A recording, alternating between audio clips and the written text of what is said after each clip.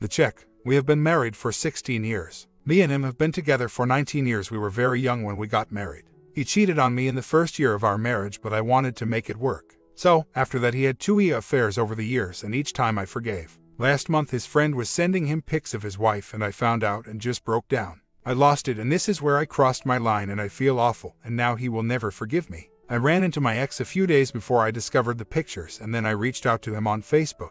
Basically, just breaking down what happened and feeling awful, so he asked if I wanted to come up to work on Sunday since he is a bartender and I am okay. Well, I am ending up sleeping with him because I tried to justify that my husband doesn't care at all about me. I then ended up having slept with two more times and chatting, sending naked pics and videos before my husband discovered a discussion I was having with my enabling friend who basically says I should cheat. Then my caring husband, who yes has made a few mistakes in his past, was willing to forgive me because he never realized how much it hurts to be cheated on.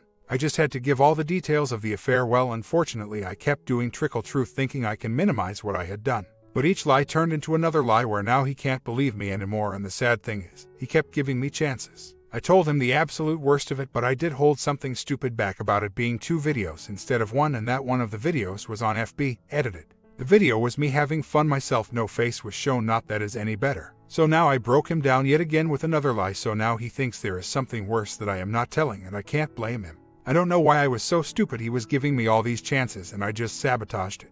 I love him so much and regret what I did. I was never going to contact my AP again. I gave him access to everything. I really wanted to make this work and I thought that by never having contact with AP was enough, but I was wrong. It needed to be more. I just thought the details would hurt him more, but it was my lying. So now I don't know if our relationship can ever be saved. He wanted transparency about the details and I kept holding stuff back, and that is not fair to him either. He says he never fully released how hurtful it was until this happened to him. I guess it triggered me because he would get pictures and videos from his emotional affairs, and here he is hiding it, and it kept going on for over a year with his friend's wife, and they all knew and were just secretly laughing at me, even though I know that they were not, but in my mind they were. I just felt like he hurt me all over again from the PIA to the E. I know it wasn't cheating, but it crossed my boundary of no naked pics of people we know, and he knew that. I know for 100% I overreacted and feel shame and guilt. I should have never done that. I am upset with myself because he was giving me a pass on of this and I kept screwing it up over and over again because something new came up about the details that I was ashamed to share. It was more like a trigger for me, I think. Like all the emotions came because he is being sneaky again and we had an agreement of no naked pictures of girls we know I don't think that is a hard boundary to follow. If his friend only sent his wife pics once but it was ongoing. I just snapped because I thought if he doesn't care then why should I obviously that was immature and stupid. Okay so I originally told him it was only one time. Then I told him it was only twice. I lied about the places. I lied about it being only one video. I was trying to minimize the damage because it my mind details only hurt more, but I kept lying and didn't spill until he said he was going to talk to my AP to see if he can verify it since I kept lying. Of course, I just wanted to move on from the whole thing since I was not ever going to talk to him again. I have told him he could put keylogger on my phone and computer. I will never do this again. Sitting across from him in the cold, sterile room of our mediator's office, I realize the magnitude of what I've initiated. The papers lay between us, a stark white symbol of our fractured union, waiting for signatures to seal our 16 year journey into a neat file of closure. I can't help but feel the weight of every decision, every mistake, and every hollow forgiveness that brought us here. It started with his transgressions, a betrayal that I bore in silence, forgiving and rebuilding after each affair, clinging to the hope of what our marriage once promised. But when the latest wound came, pictures from a friend, a secret mockery that cut deeper than the rest, I broke. The pain, festering like a silent poison, pushed me over an edge I didn't know I was capable of crossing. I sought solace in a past connection, an ex whose familiar comfort turned into an infidelity of my own. In a whirlwind of misguided revenge and desperation, I matched betrayal with betrayal, my actions mirroring the hurt I'd been served. Lies weaved into the fabric of our daily life, a pattern too intricate to unravel without tearing everything apart. He, surprisingly, found it within himself to offer forgiveness, a gift I now see was priceless. Yet, I squandered it, drip feeding the truth, thinking I could protect us both from the raw edges of my missteps. Each lie was a brick in the wall that now separates us, a wall that my own hands built. In this sterile room, with the hum of the air conditioner as our soundtrack, I look into his eyes, and I see the reflection of my own pain, magnified by the betrayal he now understands all too well. He's given me every chance to come clean, start anew with a slate wiped of secrets. But the trust that once held us together has been eroded by my trickle truth and justifications. I've learned too late that honesty isn't just about the absence of lies, it's about the presence of trust, the kind that can't survive half truths and withheld confessions. The details I hid to protect him were the very things that poisoned us from the inside out. So, I pick up the pen, the weight of it feeling like the final piece of our shared life slipping from my grasp. With each stroke of my name, I feel the chapters of our story coming to an end, not with the closure I'd hoped for, but with a jagged edge that will take time to smooth out. I realize now, amidst the shards of our shattered vows, that love isn't just about forgiveness, it's about the courage to be transparent, even when it's painful, especially when it's painful. As I slide the papers back to him, my soon to be ex husband, I understand that this is where my journey of self forgiveness must begin. And perhaps, in this ending is the first step toward healing, toward becoming someone who can love fully and truthfully, without shadows and without lies. My comment when this kind of betrayal happens in a relationship, there is no way you can recover, better for both parties to move on. Story 2 I'm a little worried about my marriage and would like to hear opinions, suggestions on how to keep handling this. I've been with my husband for five years, and three of them we have been married. He's a great person and I love him dearly. We share the same values, and because of that, we haven't had major issues, but it feels like the little stupid things we keep fighting about are slowly having a big impact in the way we interact and show affection. Ever since we got married, I've complained about the way my husband prioritizes his time. We were forced to have an international distance relationship for a year, and once I came back, everything was just different. My husband had a new job, new friends, and pretty much a routine that offered me very limited time with him. These are some of the things I have complained about. It took me a whole year to meet my husband's group of friends. He would always inform me that they were hanging out, and at first, I was fine with it, but then it just turned awkward. They were all either married or engaged, but would never plan something where their partners were also included, and therefore, in my husband's words, it would have been weird to invite me, which I understand. I also don't want to be the only girl with a bunch of dudes, but again, why couldn't they just plan something out with the girls every once in a while? Besides his private events with friends, my husband is not interested, doesn't have the time or energy to do anything fun. I'm always the one who has to ask for a date night and to come up with ideas of things that we can do together to bond as a couple. Those ideas are subject to his approval, and if he does approve 70% of the time, you can tell he's just doing it to make me happy. At home, he spends many, many hours playing video games. He can sit in front of the computer and play games for five hours straight very easily. I don't have a problem with him having a hobby, it's just his time management that makes me really sad. Whenever I complain about not spending time together and how we don't share common interests anymore, his excuses always work. He says he works a lot and should be allowed to release his stress by playing video games, and that if I ever need a date night, I just need to ask. I'm honestly done begging for his attention. The last thing that happened and made build a lot of resentment towards him was my birthday. I told him I wasn't expecting anything material, but I was shocked to see he didn't was present for me on that day. It's easy for him to take time off at work since his schedule is very flexible. He's done it many times when he goes out with friends or just because he doesn't feel like going to work. Why couldn't he do it on my birthday? I'd like to add that he's my only family in this country and I literally spent the whole day by myself. I went to have lunch by myself and came home to be with my cat. After that, I was ready to leave the relationship since I honestly realized I was the last person in his list of priorities. However, we had just bought a house and we were about to move in. I decided to come to the new house since he said it. We would be in a better place since we wouldn't be in the city and he likes this environment way more. I chose to believe him, but I can clearly see how my feelings towards him are slowly dying and I have zero patience for him. Our last fight was this week over video games again. I'm exhausted of having to treat my husband like a 12 year old. He says, It's very simple. All you have to do is give me a reminder. All you have to do is tell me that you want me to come to bed. Well, no, I don't have to do anything. If I have to send you to bed like a child, then don't expect me to treat you like a grown man in bed. I know I'm not perfect, but I try to be the best wife I can be. I work full time and still manage to keep my house running. I'm very clean. I do my best to be a nice person to everyone. I don't even speak English as my first language, and I'm always looking to improve since I know how important communication is in marriage, and I don't want the language to be an obstacle for us. But honestly, at this point, I don't even care about it anymore. I won't keep forcing things to happen. As I said, I know my husband is not a bad person. He's not a cheater, I know he loves me, but I also don't think I should be thankful for just getting the most basic things out of marriage. I still think emotional intimacy is very important, and it's something that's lacking here. I don't enjoy his company as I used to, and I've built a lot of resentment. I know many of you will suggest therapy, but unfortunately, I already tried that and he won't go. He says if we can't communicate without a third party involved, then he'll know we're done. I'm originally from Colombia. I came here with the intention to have a one year intercultural experience and then I would go back home. Therefore, I didn't finish college. When my husband proposed to me, all my plans, of course, changed. We were looking for ways for me to finish college here, but I would have had to apply as an international student, and it was too expensive. Back home, I had education for free. It was a hard decision for the both of us, but we agreed that it was for the best of our new family's interest. My husband was getting education for free thanks to his military benefits, and I wasn't willing to hurt him financially with my own school loan. That's why I went back home. I don't want to be the center of his world. I encourage him to do things that make him happy and to have fun because he started living an adult life since he was a teenager. He joined the army at the age of 17. However, I did sign up for marriage for a partnership.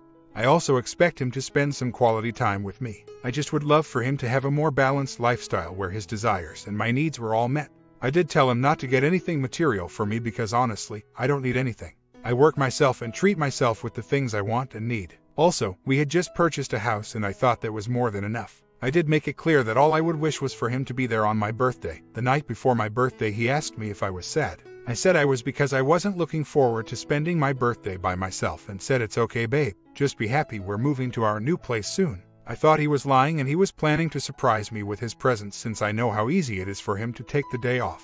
He didn't and I was heartbroken. Ever since I got married, I've been taking it very seriously. I even read books and listen to podcasts of professionals that talk about marriage. These resources have taught me that open communication is very important. I try to be as mature as I can when it comes to marriage. I'm sure there are things I still need to improve, but I'm willing to do it. So, yeah, I constantly communicate my needs and feelings with my husband in the most positive way I can find, but it might change for a couple days and then it goes back to normal, and I'm tired of repeating something that at this point he should already know I expect from him. You mentioned you're married, right? I know every family has a different dynamic, but I'm wondering if you were in my position, you wouldn't mind pushing someone to do the things that you have already voiced so many times. Isn't it nice when a person starts making changes in their lifestyle because they know it'll make things easier at home? No, I'm not using bonding as a punishment. I'm a very physical person and would never think this is something that I'm just doing to please him. But that's the problem. All of our other issues have been affecting my desire for intimacy, and I refuse to do duty bonding. Finally, I'm not isolated by language. I'm fluently bilingual and I'm able to hold a conversation in English. When I mentioned that I didn't want language to be an obstacle, I meant the ability to talk about very deep feelings, give a clear message of what is making me so unhappy. Even if you speak a second language fluently, you'll never feel as comfortable as with your native language. I do have friends and I sometimes make plans with them. They actually complain that I don't hang out with them very often, but it's because I'm very busy being a wife, a teacher, and a graduate student and even if I have a strong friendship network. Again, what is the purpose of marriage if we can't be a team and make memories together? My friends cannot replace my husband, that's what I feel. We actually did have a very nice relationship when we were dating. We were best friends and had lots of fun together. We hardly ever fought, and it was the healthiest relationship I did so far. We were also so attracted to each other due to our physical differences that we found very exotic. I really feel like that year apart meant the before and after of our relationship. Once we got back together, it was like I was with a totally different person. It was either that we learned to be without each other or maybe our lifestyles changed so much that it was impossible to go back to what we used to have. I would love to be able to fix our differences and build a life with him. I just happen to feel completely hopeless and don't know what else to do to make it work. I know he still loves me, but I don't like the way he now loves me. I like the guy I felt in love with, not this new version of him. Our problem is the way we see marriage. When I ask him why he's still with me, his answer is because I love you and I think you would be a great mother, and I think you're very smart and beautiful. In my case, I'd like to say I'm with him because we're a team together, because life is already very hard out there, and in him, I can find peace and love and happiness. But that's not what I'm getting out of this marriage deal at the moment. I feel like I keep waiting for him to suddenly turn back into the person I met. I want to be as objective as I can. I'd like to clarify that my husband does not go out with friends all the time. It was a big problem at the beginning of our marriage because when I came back, he would go out more often and he would get very, very drunk, and he's not a nice drunk person. He has history of aggression, not with me, while being drunk, and I always worry about him getting in trouble because although he doesn't go out all the time when he does and he has too much to drink, he is not the nicest person. Yes, I would think that's the normal thing to do. You go out with friends and also sometimes you go out with partners as well. They've only done the latter in two occasions. I agreed to meet these people even though they had already said very bad things about me, but I still wanted to have a nice relationship with them since they were becoming such a big deal in our marriage and the cause of many of our problems, so I wanted to see if maybe meeting them and being kind to them would make things easier for us. I don't mind him playing games. I also like having my alone time. It becomes a problem after he's been there for close to five hours and it's bedtime and it's his one day off and for once we could actually go to bed together and watch a show, make love, I don't know. Just be a normal couple. I work from 8 a.m. to 2:30 and he works from 3:30 to 11:30 so we already have very limited time to spend together. So, when we do have the chance to spend time it hurts me to have to ask him to do it because he doesn't seem to think about these things. No, he's a very physical person and he complains that we're not as active as we used to be but for me, I need to have some interactions outside of the bedroom to be in the mood to be intimate. He'd love for him to be able to play games all day, get food served to him while still playing games, and once he's done with that, come to the bedroom and find a needy wife. I need to ask to have a date night, I need to choose the restaurant. Once we're there, I need to carry the conversation, and like yours, some of our dates end up being horrible because I don't feel he's engaged and then I just want to go home. Yes, I work full time, I do have friends, and I am a very active person. I think my problem is not related to codependency, I think it is related to being extremely independent. My thoughts usually go like this Okay, so I don't need someone to support me financially. This person is not interested in the same things I am. We don't share any hobbies or any type of social life together. I love him, but at this point, I don't even enjoy his company because we have nothing to talk about.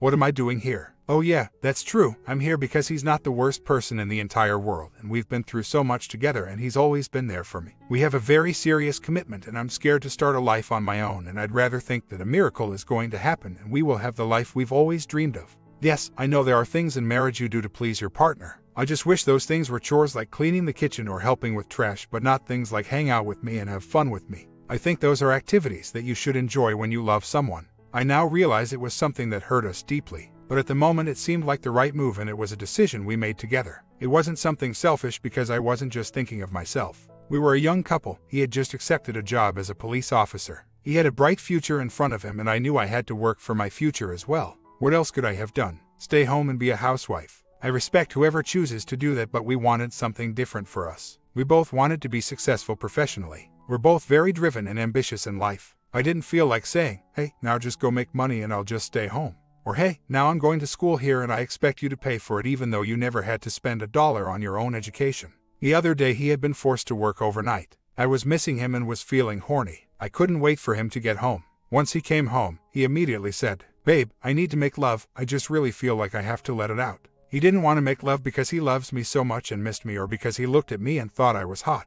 He was asking for bonding because he had a physiological need and it was such a turn off for me. I had a conversation with him and explained to him how I felt and how it was important for me to have an emotional connection in order to be able to enjoy bonding.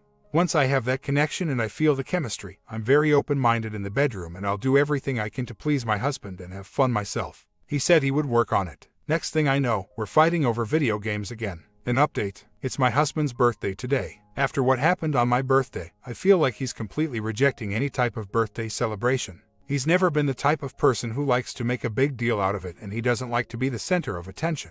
Back in the day, we would go out for dinner, and I would try to have a private celebration with him. This year, he made very clear that he didn't want to go to a restaurant. I asked him to take the day off so that we could spend the day together, and he said he couldn't. I tried to get a present for him, but it just didn't work out. My friend's birthday was this weekend too, and I left Friday and came back yesterday. They're still having a celebration, but I came back to be with my husband today. He came home this morning since he was forced to work overnight. I tried to be very special, although we're getting very distant lately. He seemed very uncomfortable being by my side. He had to go back to work, and I tried to give him a hug, but he just looked very uncomfortable and sad and wanting to just get me off of him as soon as possible. Having children with him is not in my checklist right now. I guess I am now in the process of understanding what the heck is going on here, and I honestly feel like I'm grieving inside marriage. I feel extremely anxious and can't help but think about how damaged my marriage is and how it's so obvious that there's no US in our future. I have so many things to deal with work, my masters, my parents are visiting soon, housework since we just moved here, all things that require me to be very productive, but I just can't concentrate and get anything done. It makes me even more anxious, and I find myself shaking feeling something in my chest I can't describe, and just lying in bed trying to figure out how to put my life in order again. I just feel like I'm so emotionally drained that I have to energy to start a divorce process right now. I'm basically just waiting for him to take the first move. I've talked about divorce before and I know he resents me for that. I just don't know what else to do when he doesn't accept therapy as an option. We've been living just like roommates since we had our last fight. I know I started it because I felt like I just had to protect myself and my feelings, so I decided not to expect anything from him any longer. Then his parents came to visit and he started, which he usually does, treating me like a stranger or something, and I no longer have patience for him at all, so I decided to distance myself. He asked me why I was acting like this, and I told you I was treating him in the same way he treats me in front of people, and he spoke. What do you want from me? You want me to start kissing you in front of my parents, or what? My mom knows what's happening since she's the one person I feel I can trust. I feel so bad when I have to vent with her, though. I don't want her to worry about me. My parents have always supported me, and I'm sure they'd be there for me if I do decide to get divorced. I'd love for us to go to counseling and work it out. If there's something I need to acknowledge, I'm all for that. I love him and I know I'm not perfect and I'm willing to fix whatever I have to. I can't force him to do that though. When I brought up this idea, he said that under no circumstances he would go to therapy. Then I said he could offer a solution to solve our problems since I didn't know what else to do. He said that his solution was very simple. We just had to forgive and remember we love each other and we don't do things with the intention to hurt each other. That's not an acceptable solution for me because I think you can forgive once, but when the person doesn't change the behavior, it does feel like they're doing it on purpose. What I keep wondering is why would he go through such a painful process with me, wait for me for a whole year, have a multicultural marriage, go through an immigration process so that I could get my residency, buy a house with me and still be so indifferent when it comes to our problems. I mean, does he actually love me? I don't know. I was a little nicer today because it is his birthday, but even when I tried to give him a hug and noticed rejection from him, I didn't argue about it. I just left him alone. I feel like by taking those actions, my husband is now doing the same exact thing, though. It hurts a little, but I honestly feel like it's his right to protect himself when it's clear that I'm protecting myself. I wonder what the purpose of the method is, though. I'm doing it because I just refuse to keep feeling hurt, and I've decided to just ignore him completely. I don't expect anything good to come out of this, though. I assume if I'm now having this attitude, he deserves to act the same way with me. Does anyone here have experience with this method? If I had decided to stay in the US during that year, I could have never worked during my immigration process. By being in Colombia, I was being both productive and diligent with school and immigration stuff. Now, I know it would have been hard for my husband to live in my home country, and I know by being here he was also working on his career, and I don't blame him for doing that. But I was doing the exact same thing. Why does it seem like something negative? When I was about to come back, I knew what I was about to face. I knew it was going to be a hard transition and a process that required time and love. But when you're married and you're willing to make it work, you do everything to reconnect with that person that you chose as a partner for life. I just don't understand what some people are trying to tell me. Correct me if I'm getting a little confused, but what you're trying to say is that I wasn't being realistic for expecting my husband to behave like a husband. I mean, good for him. He had a nice year as a bachelor, but I think common sense can also suggest that now the wife is home and some changes need to be made to the previous routine. A year later, some updates are I started grad school and became very busy with both a new job position and school. Being in the new house was nice, and we tried to bond a little more as a couple and go on some date night around town here and there. My husband progressively stopped hanging out with his police friends and spent more time at home. The current issues. I felt like everything was on my plate. Before and during the pandemic, I did almost everything at the house since he was working way more than me. After we moved to the new house, the house was bigger, I had to work in person, which is a two, five hour commute for me every day, and I was going to grad school. But despite all of this, most of the house chores were on me. I didn't think it was fair. I had felt very disrespected since it happened more than once that my husband wouldn't talk about some important things with me, but then he would do it with other people like his dad or his friends. Example, he was applying for a new job and I asked him how he felt about the hiring process and if he thought he would get the job. He said he had a good feeling about it but didn't want to talk about it until he was certain he would get the job. I understood and was okay with him not sharing. A few days later, we go to see his good friend, and they immediately started talking about the new job, and my husband shares with him every single detail about the process and why he thought they would hire him. I can't explain how I felt. We went to spend a week in a different state at his friend's house, and it turned out not being fun at all. His friend and his wife have three little children and had a hard time leaving the house because of the children. I tried to help as a cold, and my husband focused on playing video games with his friend.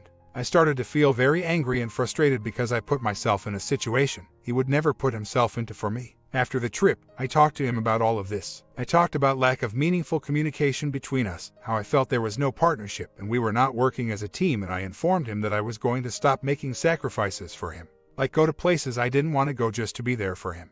Why? Because he never did it for me. The day I moved out, my friend invited us to her baby shower. I asked him if he would come with me, and his initial answer was no. I said, Fine, but I won't go to your friend's wedding in October. He said, What do you mean? They're expecting us both. I said, Well, I never agreed to it. I don't want to go and I won't go. I explained that marriage had to be give and take, and he said, Yes, you're right. I'll go to the baby shower. We talked a few times about the baby shower, and he was okay with going, even the day before. However, the day of the event, he woke up in a bad mood. He started saying that guys didn't go to baby showers and asking if he really needed to go. I said, My friend already thinks you're going, but if you don't want to go, then fine, just stay. As we're on our way there, he continues to say how he was forced to go there because of my presence at the wedding crap. After 30 minutes, he says he'll pull over and get out of the car and that I can continue driving and he'll find his way home. Like a little child throwing a fit. I was so sad and mad, but I said okay. When he's parking, I started tearing up and he says, Never mind. I'll go with you. I spoke, Get out of my car. He insisted he would come and I just wanted him to leave my car. I didn't want to be close to him because I felt like I needed alone time to cry and feel better. I had decided that I wasn't going either because I was an emotional mess at the moment. He got very frustrated and started screaming then we're F getting a divorce over this. Yeah, baby, let's F do it. That's all I wanted anyway, while he's punching his feast. That's when I knew I had to leave this man. I felt unsafe and scared. It's been a month since I left the house. I've rented a place and I go to my house to see my cat every weekend. So, I get to see him as well sometimes. We have friendly interactions but don't talk about our issues. When we talk about our issues, it's usually via text. He went from I won't go to therapy to I'll do whatever it takes to have you back. I finally found a therapist, but they advised that I do individual therapy first since it needs to be a safe place for me to talk, and the whole reason I left the house was because I didn't feel safe. So, they don't want him there sitting next to me. I informed him about this individual therapy, and he says, Great. Hopefully, you'll feel ready to come back soon. My comment You two are simply not compatible, and never will be. You seem more domestically inclined, he is not. You want to do everything as a couple, he does not. I get him not wanting to go the baby shower, that is a lady thing. But if it was important to you, he should have gone and had a good time. It likely would have been over in an hour and a half. You acted out of place when you visited his friend who has small children. You took your own frustration out on him in that instance. You should have stayed in a hotel and had lunch or dinner somewhere nice in between visits to the friend's place. Yes, you could have suggested that, though he could have, also. Remember, someday you may have little children and you will have to entertain guests at the same time. No, not with this husband. It is part of life that most everyone must go through. He is definitely unreasonable, not compatible with you. But you sound set in your ways, also. Get an amicable divorce.